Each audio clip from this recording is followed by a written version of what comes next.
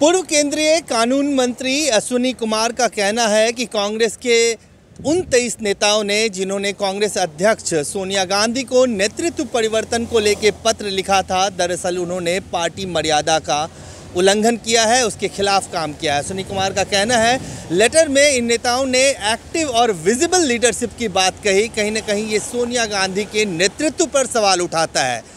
अश्विनी कुमार का कहना है कि क्या ये नेता मानते हैं कि सोनिया गांधी एक विजिबल और एक्टिव लीडर नहीं थी?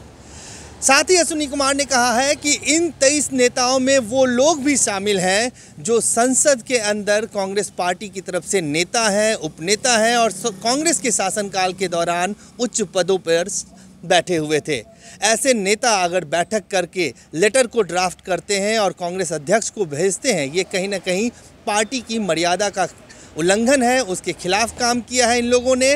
और साथ ही अश्विनी कुमार ने कहा है कि अब इस पूरे मामले में कांग्रेस कार्य समिति की बैठक के बाद जो रेजोल्यूशन पास किया गया, जो प्रस्ताव पास किया गया, अब इन नेताओं को, इन तेईस नेताओं को उसको लेटर एंड स्पिरिट में मानना चाहिए ताकि इस पूरे मामले का पटाक्षेप हो जाए। देखिए, ये तो लाजमी था कि सारी वर्किंग कमेटी ने उन्हीं का अनुमोदन करना था, क्योंकि कांग्रेस पार्टी में उनसे बड़ा नेतृत्व आज किसी का है नहीं। सारे हिंदुस्तान में कांग्रेस अगर किसी एक व्यक्ति को सर्वसम्मति से मानते हैं, वो सोनिया गांधी है और सोनिया गांधी ने अपने कुशल नेतृत्व से दो बार कांग्रेस पार्टी की सरकार केंद्र में बनवाई और कितने ही राज्यों में सरकारें बनवाई। दुख इस बात का है कि जिस तरह की शैली चिट्ठी में इस्तेमाल की गई, जिस तरह के समय पर वो चिट्ठी लिखी गई और जिन कारणों से वो चिट्ठी मुझे लगता है कहीं ना कहीं उसमें जिन्होंने चिट्ठी लिखी है, उनसे भूल हुई है, उनसे छूट हुई है।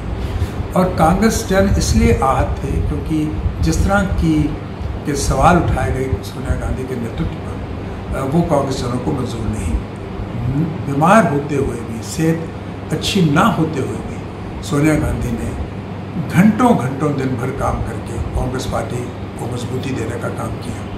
और पिछले साल जब वो नहीं बनना चाहती थी अध्यक्ष, तब भी कांग्रेस उन्होंने लिटरली उनसे भीख मांगकर नेतृत्व करने के लिए कहा। जब उन्होंने जिम्मेवारी संभाली तो आज उनके ऊपर प्रश्न चिन्ह लगाया जा रहा है। ये उचित नहीं है। इसलिए मेरा मानना है कि अब जो हुआ, सो हुआ। उसको भूल जाना चाहिए और कांग्रेस जनों को इकट्ठा होकर कांग्रेस पार्टी को सशक्त करना चाहिए, क्योंकि देश में एक सशक्त ऑपोजिशन ज़रूरी है, ताकि हम डेमोक्रेटिक ढांचे को बरकरार रख सकें। सोनिया जी ने ने बड़ा दिल अपना हमेशा दिखाया है और उन्होंने अपने कल कंक्लूडिंग बयान में ये भी कहा है कि जो हुआ, सो हुआ। अब आगे साथ चलना चाहिए क्योंकि ये सारा परिवार है। परिवार में कुछ राय मुख्तलिफ़ हो सकती है। मगर आने वाले समय पे बहुत कुछ निर्भर करेगा कि ये लोग आगे क्या करते हैं। उसके मुताबिक आगे की कार्रवाई की जा सकती है। पर मेरा स्वयं का व्यक्तिगत मानना ये है कि अब जो हुआ उसको भुलाकर इकट्ठे होकर पार्टी को आगे बढ़ाना चाहिए। साथ ही अश्विनी कुमार ने यह भी आगाह किया कि अगर ये मामला आगे भी चलता रहा तो कहीं ना कहीं बीजेपी को और दूसरी पार्टियों को कांग्रेस के अंदरूनी मामले पर सवाल उठाने का मौका मिलेगा।